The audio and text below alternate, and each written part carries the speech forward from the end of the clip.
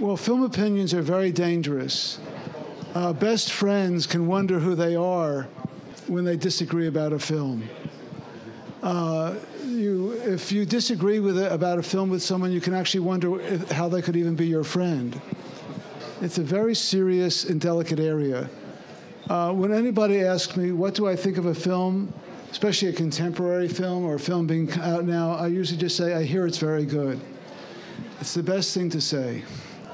Because people uh, invest their psyches in a cinema, almost like the way you would invest your psyche in your dream. And if you tell someone you didn't like their dream, they're mortally wounded and wonder who you are. So you're asking a dangerous question. I don't care for that director at all. Uh, and uh, I think what he stands for uh, is antithetical to what the book is about. The book is about uh, direct experience. It's not about image representing language, concept, idea. And um, he doesn't work for me. It doesn't work for me. I respect its, I respect its um, seriousness, its intent, uh, the quality of how it's done, but it's uh, for another kind of animal than I am. It's uh, like asking a cat to eat marshmallows. It just doesn't work. Yeah. Well, I think uh, when one is uh, fully conscious, when one is fully conscious, uh, one is aware that one is seeing. Uh, when one is semi conscious, one is just seeing. But when you're fully conscious, because we have a human mind, we can actually perceive that we perceive. Uh, to perceive that we perceive, in a way, is the seed of wisdom. It's the seed of a deep, deep devotional sense of what it is to be the mystery of being a human being. So uh, that's what I'd like my films always to be about. So to see the perceiver and what is perceived simultaneously in a union, I think makes for devotional cinema. It's a very strange director. I love the Disney's uh, films very, very much. Uh, I love the, I loved his uh, wildlife films uh, that he was making in that period of time in the 50s. there's films called uh, Beaver Valley and Nature's Half Acre. And it was the first time one had the opportunity, for instance, to see a time lapse shot of a flower. Uh, and it was deeply magical. Um, I think I'm very influenced by Disney. I think Disney, uh, Ozu, um, Antonioni, you know, are my uh, main influences. Yeah. yes. Yeah. No, I think they're all very uh, filmmakers who produce, who express themselves through direct vision.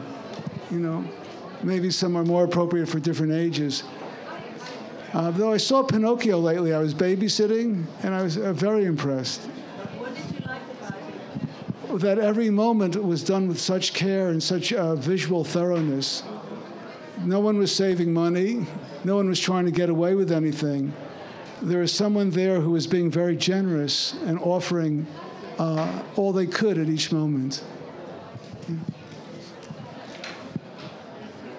I don't know what John thinks of Disney. uh,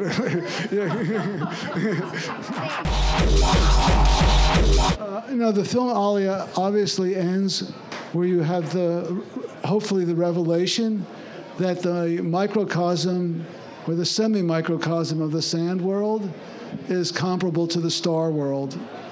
And that uh, I know myself, whenever I hear um, uh, human beings being excited about going to Mars or something, I feel like they're just little, uh, a, a little bug uh, on, on a huge beach going uh, three inches across a sand beach. In other words, the vastness of the universe and the uh, vastness of the, of the sand uh, are sisters. You know, I think the object in filmmaking, at least in devotional filmmaking, is to touch the world in such a way that its beauty and its transparency are, uh, occur simultaneously for the viewer. I don't know what else to say. Uh, there's revelation all around us, and it's a question of uh, caring about that. Uh, most films are concerned with uh, people's problems and when, whether they will be resolved or not by the end of the film. Uh, I, I, I enjoy those films as much as anyone. But there's something about being a solo, one person filmmaker. Uh, there's the opportunity to express aloneness and offer the audience uh, a shared aloneness. Um, you know, if you're out with other people and you see something beautiful and you say, "Oh, isn't that wonderful?" It kills the moment already. So, how here's an opportunity to share with other people without uh, destroying the without destroying the situation. I think to uh, to share uh, aloneness with other people, you know, is a great, uh, uh, should I say, sol- um, a great answer to loneliness. To share aloneness is a great answer to loneliness. You know. I am a bit under shock that you dislike Tarkovsky because what you're saying is actually profoundly Tarkovskian, and he's one of the cinematography directors that I love, and so our friendship is already shaking, yeah, in trouble. Uh, but he was a great advocate of direct experience and a great advocate of um, non-mediated, transparent sensuality, bodiless sensuality, which your films made me think of. So I could feel the maybe perhaps the questions and the elemental collections and phenomenological and all that stuff. But uh, yeah, I think it's a beautiful way of, of describing this moment, I think, and the moment of the projection as well, both for you and for some of us as a sort of uh, possibility for hazardous illumin illumination of sorts. So yeah, our friendship can recommence now.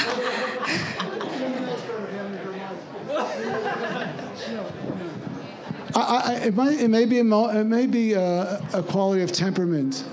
Do you know what I'm saying? In other words, uh, we could we could stand on a corner and, and you could tell me who you thought was cute, and I could tell you who I was thought was cute, and they might be different people you know? So, yeah. There's also something psychosexually strange about Tarkovsky, which I don't know if I should say publicly. something which makes me feel uncomfortable. You know.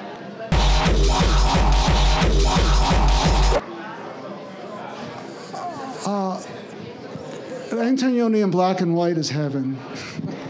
in color, he's nothing. Yeah. Okay that's something we agree on. I yeah. love Antonioni in black and white, and I don't like him at all in color. His black and white films are uh, the very height of narrative cinema. I mean, his first feature, Chronicle of a Love Affair, is incomparable. Yeah, see? We, we could be friends. We just don't talk about the tea subject. Yeah, okay. It's extraordinarily important because the films don't exist except for the way they're shown. Uh, so it isn't like they're just shown and then, uh, uh, you know, it's the whole thing. I guess Erwin is in here. I went through a long, a long thing with Erwin when he invited me here. Uh, will you be able to show silent films, silent speed films uh, at the festival in a good way. And he went out of his way to guarantee me we're not only going to show them every day in the same theater, Is that, is that this is like Johnny Carson? It means we're, it's time for an ad. and anyway, um, uh, you know, it's extremely important. And uh, the situation, I know you were sitting a little closer in the back. Uh, this is the supreme situation here.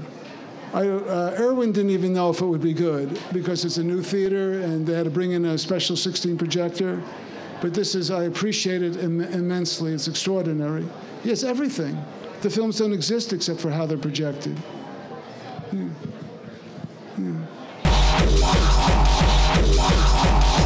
I think for, for many artists, the, the sublime moments of, of childhood are the reference point for the sublime.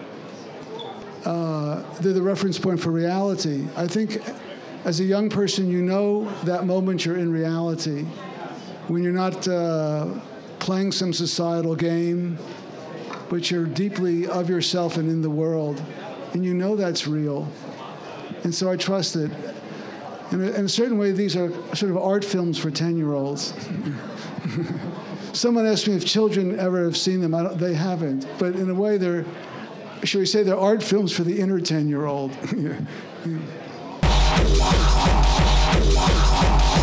I didn't. I wasn't aware that, I mean Europeans uh, aren't in touch with their original uh, untampered nature. Yeah, I don't know. They have a nicer society than we do.